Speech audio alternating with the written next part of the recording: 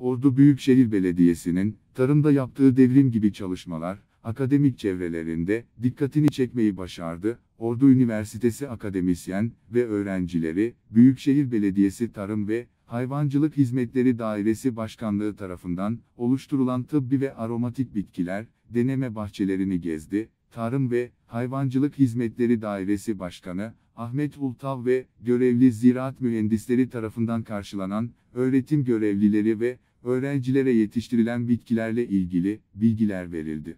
ortak tarım şirketimiz var. Ee, zaten onlarla sözleşmeli hale getirdik ama şu anki piyasada zaten e, pazar sıkıntısı yok. Ordu Büyükşehir Belediyesi Tarım ve Hayvancılık Hizmetleri Dairesi Başkanlığımıza ait e, tıbbi ve bitkiler e, deneme bahçesindeyiz. Bugün e, Ordu Üniversitesi Tıbbi ve Bitkiler bölümünden öğrenci ve hocalarımızı deneme sahamızda ağırlı, ağırlıyoruz. Öğrenci arkadaşlarımızla burada yaptığımız çalışmaları yerinde anlatıyoruz. Bu bahçemizde e, 16 çeşit tıbbi ve bitkisi var. Burada bölgemizde yetiştirilebilecek bütün tıbbi ve aromatik bitkileri deneyerek e, ileride e, ilimiz tarımına kazandırmak için çalışmalar yürütüyoruz. Yaptığımız çalışmalar neticesinde e, olumlu sonuçlar aldığımız ürünlerimizi de ilimizde yaygınlaştırmak için çalışmalarımız devam ediyor. Öğretim görevlisi ve öğrenciler, Büyükşehir'in çalışmasının öneminden bahsettiler. Ee, Yüksekokulumuzda tıbbi aromatik bitkiler programında staj yapan öğrencilerimizi. Ee, Bugün belediyenizin bu eğitim sahasına e, yüksekokulumuzda tıbbi aromatik bitkiler programında staj yapan öğrencilerimizi getirdik. Ee, Öğrencilerimiz ikinci sınıf. Ee, Evet bizim de bir e, yüksekokulda koleksiyon bahçemiz var, seramız var, orada bitkilerimiz var ama burada daha böyle üretim anlamında e, bitkileri daha fazla çeşit, tür olduğu için göstermek istedik. E, öğrencilerimizin e, uygulamalarını e, teşvik etmek adına güzel bir e, program oldu diye düşünüyorum. E, 13 öğrencimizle birlikte geldik. E, öğrencilerimiz tabii ki buraya gelirken programa gelirken e, nasıl bir yere geldiklerini çok bilemiyorlar.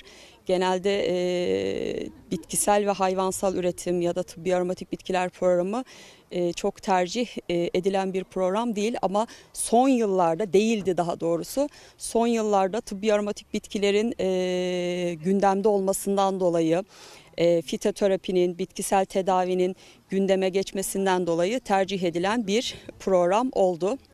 Büyükşehir Belediyesi'nin e, tıbbi aromatik bitkilerle ilgili e, bu eğitim sahası gerçekten önemli. Bölge için e, özellikle sadece e, tek fındık tarımının yapıldığı e, düşünülürse tıbbi aromatik bitkiler e, gerçekten bölge için çiftçiye alternatif bir gelir kaynağı olması açısından çok önemli. Merhaba, ben Tıbbi Aromatik Bitkiler Bölümü 2. sınıf öğrencisiyim.